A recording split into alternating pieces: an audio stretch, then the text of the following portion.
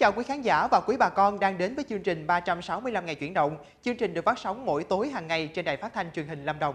Trong chương trình 365 ngày chuyển động, chúng tôi sẽ cung cấp đến quý khán giả những thông tin mới, thiết thực và hữu ích liên quan đến tình hình sản xuất nông lâm ngư nghiệp của bà con nông dân Lâm Đồng và nhiều tỉnh thành trên cả nước. Và trong khung giờ quen thuộc tối nay ngày 30 tháng 5 năm 2019, chương trình sẽ có những thông tin đáng chú ý sau đây. Đạ Oai thực hiện 47 điểm trình diễn ứng dụng khoa học kỹ thuật vào sản xuất với quy mô 22 hecta. Đạ Tẻ phát triển trên 750 hecta cây ăn trái với các loại cây cho hiệu quả kinh tế rất cao. Hơn 500 hộ nuôi cá làng bè La Ngà, Đồng Nai chật vật tìm hướng đi sau thảm họa cá chết hàng loạt hồi giữa tháng 5. Thưa quý vị và quý bà con, mở đầu nội dung của 365 ngày chuyển động tối nay như thường lệ sẽ tiếp tục là một số thông tin về tình hình sản xuất nông nghiệp đáng chú ý trên địa bàn tỉnh Lâm Đồng. Quý bà con thân mến, Ủy ban Nhân dân tỉnh Lâm Đồng cho biết địa phương sẽ dành trên 13 tỷ đồng để thực hiện chương trình mỗi xã một sản phẩm ô cóp giai đoạn 2018-2020. Trong đó, vốn ngân sách hỗ trợ là 7,9 tỷ đồng, còn lại là vốn đối ứng của các đơn vị tham gia chương trình. Đây là nội dung triển khai chương trình mỗi xã một sản phẩm ô cóp giai đoạn 2018-2020 trong xây dựng nông thôn mới. Qua đó, Lâm Đồng đã đặt ra mục tiêu chuyển dịch cơ cấu kinh tế, tái cơ cấu sản xuất nông nghiệp nhằm phát triển kinh tế khu vực nông thôn, nâng cao thu nhập và cải thiện đời sống người dân. Những sản phẩm có nguồn gốc từ địa phương, đặc biệt là các sản phẩm đặc sản, đặc trưng trên cơ sở khai thác lợi thế, so sánh về điều kiện sinh thái, nguồn gốc sen, tri thức và công nghệ ở Lâm Đồng sẽ được ưu tiên hỗ trợ. Thưa quý vị, hiện nay đã có hàng chục sản phẩm đăng ký tham gia chương trình mỗi xã một sản phẩm. Nổi bật có những sản phẩm đã được người tiêu dùng biết đến và ưa chuộng như trà, cao atiso, hồng sấy, sầu riêng, quả điều. Thưa quý bà con, Hội Nông dân huyện Đạ Oai đang triển khai thực hiện 47 điểm trình diễn ứng dụng khoa học kỹ thuật vào sản xuất với quy mô 22 hecta. Tiêu biểu có mô hình thâm canh cây điều ghép đạt năng suất 25 tạ một hecta, mô hình thâm canh cây dâu lai nuôi tầm đạt năng suất kén trên 2.000 kg kén một hecta một năm, cho doanh thu 220 triệu đồng một hecta một năm. Đầu tư bài bản nhất phải kể đến mô hình ứng dụng công nghệ cao sản xuất sầu riêng Việt Gáp với hệ thống tưới tự động cùng tích hợp ba khâu chăm sóc bón phân, tưới nước, phun thuốc trừ sâu, vừa giảm chi phí vừa bảo vệ được sức khỏe. Nhờ vậy năng suất sầu riêng đạt cao, doanh thu đạt 1,2 tỷ đồng một hecta một năm. Xin được chuyển đến với một thông tin đáng chú ý khác. Hiện tại, huyện Đạ Tẻ phát triển trên 750 hecta cây ăn trái, tăng hơn 500 hecta so với năm 2013, với các loại cây ăn trái chính như sầu riêng, quýt đường và bưởi da xanh. Trong đó, sầu riêng được xem là cây trồng tiềm năng với diện tích trên 350 hecta, năng suất đạt từ 12 đến 15 tấn một hecta, thu nhập từ 500 đến 700 triệu đồng một hecta một năm, cao hơn nhiều lần so với cây trồng truyền thống của địa phương. Để phát triển hiệu quả diện tích cây ăn trái trên địa bàn, thời gian qua, ngành chuyên môn và các cấp chính quyền của huyện Đạ Tẻ tiếp tục tuyên truyền, vận động người dân mạnh dạn chuyển đổi cây trồng kém hiệu quả sang trồng các loại cây có giá trị kinh tế như dâu tầm, sầu riêng, bưởi da xanh, quýt và tầm vong. Ngành nông nghiệp huyện Đạ Tẻ cho biết, năm 2019 toàn huyện thực hiện chuyển đổi khoảng 300 hecta cây ăn trái với lợi thế sẵn có về khí hậu, thổ nhưỡng, Đạ Tẻ đang hướng tới để phát triển vùng chuyên canh cây ăn trái trong những năm tới. Liên tục chương trình, hơn 500 hộ nuôi cá làng bè La Ngà chật vật tìm hướng đi sau thảm họa cá chết hàng loạt hồi giữa tháng 5. Chuyên mục con số hôm nay, nước Mỹ chi tới 2,35 tỷ đô la Mỹ nhập khẩu bơ mỗi năm, Việt Nam nỗ lực tìm cách xúc tiến xuất khẩu.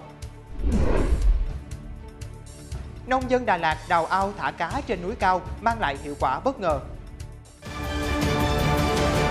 Thưa quý bà con, sau nhiều lần trì hoãn, việc giải tỏa những hồ nuôi tôm trái phép tại danh thắng quốc gia Đầm Ô Loan, huyện Tuy An, tỉnh Phú Yên đã được thực hiện. Điều này thể hiện sự cương quyết của chính quyền địa phương trong việc bảo vệ nguyên trạng danh thắng trước sự xâm hại ngày càng nghiêm trọng của người nuôi tôm trái phép. Trước đó, đầm Ô Loan đã bị lấn chiếm đến 1 phần tư diện tích mặt nước để nuôi trồng thủy sản trái phép. Những hoạt động này đã làm xấu cảnh quan, môi trường bị ô nhiễm. Làm cho bằng được cái việc này để trả lại cái đầm Ô Loan à, như ngày xưa, tạo ra cái môi trường thông thoáng cho cái cảnh quan à, du lịch cho dân sinh, à, cho phát triển. Giải tỏa các cái lờ bóng Thái Lan và các cái cọc tre đó, thì người dân của chúng tôi coi như rất mừng và có khả năng trong tương lai để rồi khôi phục lại cái cái ngành hải sản ở đầm Âu Loan. Khu vực danh thắng đầm Ô Loan hiện có gần 670 hộ sống ở năm xã ven đầm, thường khai thác bằng các dụng cụ gây hại đến nguồn lợi thủy sản. Ngoài ra có hơn 230 hộ lấn chiếm đất xây dựng nhà ở và công trình khác.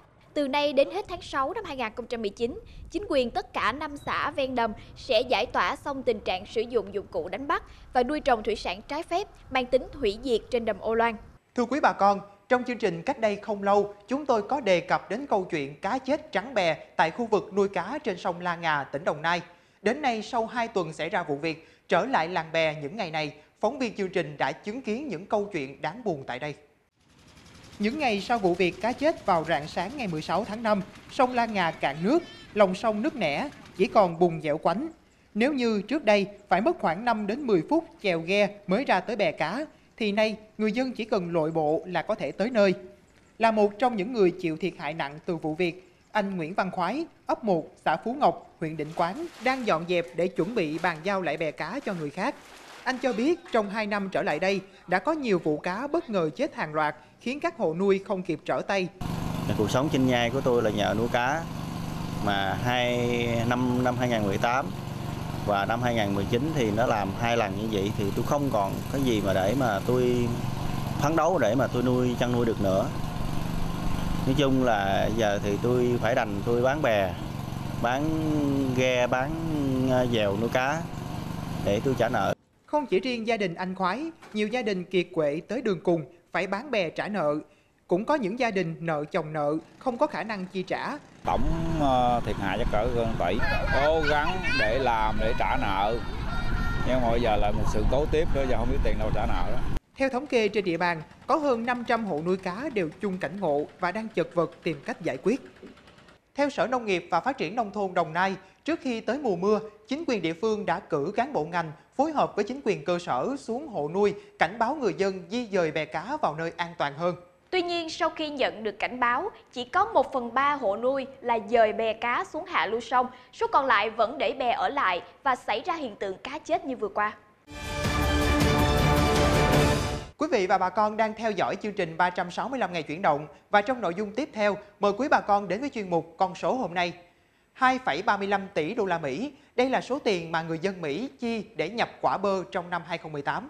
Bộ Nông nghiệp và Phát triển Nông thôn nước ta đang cùng các bộ ngành phối hợp xúc tiến đưa quả bơ Việt Nam xuất khẩu tới Mỹ. Đây là thị trường tiêu thụ bơ rất lớn.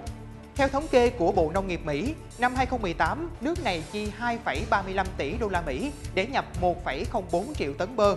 Bơ được 51% hộ gia đình tại Mỹ tiêu thụ với mức trung bình 24,5 đô la Mỹ một năm trên một hộ. Các nghiên cứu khoa học chỉ ra rằng thành phần dinh dưỡng của trái bơ cao hơn nhiều loại cây khác, nhất là về mặt calo, protein, các chất muối khoáng. Bơ là thực phẩm lý tưởng cho người bị bệnh tiểu đường. Hàm lượng các chất dầu thực vật trong quả bơ rất cao, từ 3 đến 30% và cơ thể con người có thể hấp thụ đến 92,8%. Bơ là loại trái cây ăn liền nên các doanh nghiệp cần đặc biệt quan tâm các yếu tố an toàn thực phẩm. Do đó, để xúc tiến được bơ sang Mỹ, cần xây dựng vùng sản xuất bơ bảo đảm chất lượng, đáp ứng tiêu chuẩn nước nhập khẩu về độ chín, màu sắc và trọng lượng. Quả bơ phải nguyên vẹn, sạch sẽ, không mang côn trùng, không qua tiếp xúc với môi trường quá ẩm ướt và trong tình trạng có thể vận chuyển, đóng gói được. Quý vị và quý bà con, nội dung tiếp theo của chương trình sẽ là thời lượng dành cho chuyên mục Chuyện nhà nông, chia sẻ những câu chuyện đáng chú ý xung quanh hoạt động sản xuất đáng quan tâm của bà con trong và ngoài tỉnh Lâm Đồng. Quý bà con thân mến, khi tem truy xuất gắn lên sản phẩm cũng là lúc doanh nghiệp tự tin chịu trách nhiệm về sản phẩm, còn người tiêu dùng có thể an tâm về chất lượng, tránh việc mua phải hàng giả, hàng kém chất lượng. Đây là xu thế mới và tất yếu trong sản xuất hàng hóa chất lượng cao, đem giá trị cho cả doanh nghiệp và người tiêu dùng. Mời quý vị cùng theo dõi phóng sự về mô hình sản xuất dưa hấu sạch ở Cà Mau, mở đầu một chuyện nhà nông hôm nay. Đợt dưa hấu trái vụ này, sản phẩm của Hợp tác xã Dưa hấu Lý Văn Lâm được Sài Gòn Co-op thu mua với giá cao hơn thị trường từ 5 đến 7 ngàn đồng một ký. Sở dĩ mức giá ổn định và được bao tiêu như vậy bởi dưa ở đây được trồng theo tiêu chuẩn sạch của Việt Gáp, được kiểm tra, sàng lọc, từ đó tạo ra dưa thơm ngon, không tồn dư thuốc bảo vệ thực vật. Tem truy xuất gắn lên từng trái như giấy chứng nhận cho chất lượng dưa hấu ở đây. Bằng vài thao tác quét mã hai chiều đã xuất hiện thông tin giống dưa thuộc vùng trồng dưa nổi tiếng Lý Văn Lâm. Quy trình trồng, chăm sóc, cách ly, thời gian xuất bán, hạn sử dụng đều được cung cấp đầy đủ. Cách sản xuất có quy hoạch, được quản lý chất lượng, thương hiệu, có chứng nhận như thế này là cách để dưa hấu Lý Văn Lâm vào được các siêu thị lớn, vốn là nơi đòi hỏi khắc khe tiêu chuẩn chất lượng sản phẩm. Ngoài cái khâu mà của người nông hộ sản xuất theo đúng quy trình Việt Gáp mà hợp tác xã là giám sát từ đầu từ khâu đầu tới khâu cuối thì nó còn một cái quan trọng nữa đó là gì hợp tác xã sẽ lấy mẫu của từng nông hộ và sẽ kiểm mẫu đảm bảo rằng là trong cái mẫu dưa này nó không có dư lượng thuốc bảo vệ thực vật là người nông dân chịu trách nhiệm nếu như làm gian dối Tỉnh Cà Mau đang phát triển nhiều vùng sản xuất chất lượng cao. Thời gian tới, việc kiểm định, bảo hộ và sử dụng tem truy xuất cho nhiều mặt hàng sẽ góp phần xây dựng và khẳng định thương hiệu của tỉnh nhà. Đó cũng là lời cam kết trao cho khách hàng những giá trị chân thật và an toàn nhất về sản phẩm. Thưa quý vị, tạm chia tay mô hình trồng dưa sạch tại Cà Mau. Ngay sau đây, mời quý bà con cùng đến với một mô hình nuôi cá độc đáo tại thành phố Đà Lạt. Vì sao chúng tôi lại nói mô hình nuôi cá này là mô hình độc đáo? Chúng tôi xin mời quý bà con cùng theo dõi phóng sự ngay sau đây để cùng khám phá và tham khảo nhé. Đây là bao hồ cá rộng hơn 3.500 m2 của gia đình anh Nguyễn Văn Minh ở thôn 4, xã Tà Nung, thành phố Đà Lạt. Nếu như các nông hộ nuôi cá khác thường chọn những vùng trũng rộng lớn để nuôi cá thương phẩm, thì anh lại chọn nơi phố núi này để thả cá và mang lại hiệu quả bất ngờ. Ba ao cá này được đào vuông vắn, sâu trên 2 mét và được trồng cây ăn trái xung quanh. Các loại cá được thả trong ao có cá chấm cỏ, chấm đen, cá chép, rô phi và cả cá hô, một loài cá đặc sản. Từ ba ao cá này, mỗi năm anh Minh thu hoạch hàng chục tấn cá các loại, đủ chi phí để anh nuôi sống cả gia đình và cho các con theo học đại học. Nuôi thủy sản ở đây thì phát triển tốt và nó ít phải đầu tư cái công lao động như là những cái vật nuôi cây trồng khác, nhất là con cá chấm cỏ. Thì ở cái vùng chúng tôi là tận dụng được cỏ giả vì nó còn nó còn nhiều đất cho nó có nhiều lá cỏ phù hợp với nó. Và nếu để mà nuôi thủy sản thì nó có cái ưu điểm là nó không bị mất giá. Nhìn chung là giữ được cái giá nó tăng đều đều.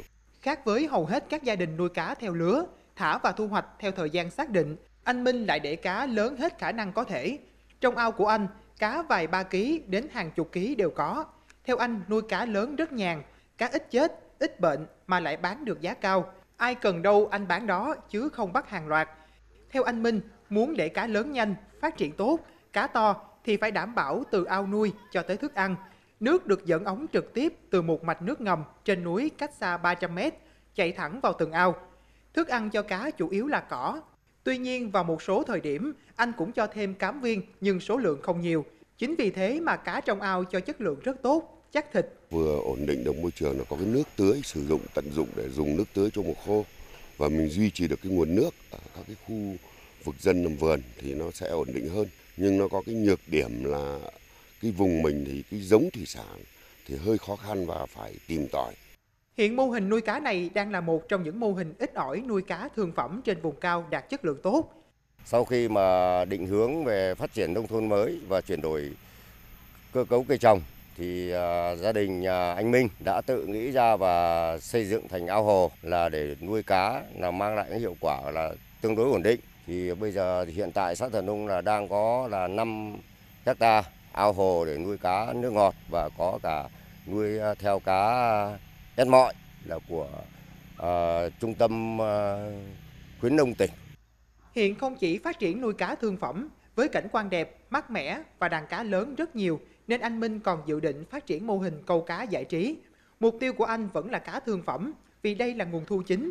Tuy nhiên, với việc du lịch canh nông đang dần phát triển, địa điểm của anh cũng không quá xa thành phố, thì ý tưởng này hoàn toàn có thể thực hiện được và hứa hẹn sẽ là một trong những điểm dừng chân lý tưởng của người dân địa phương cũng như du khách khi đến với Đà Lạt.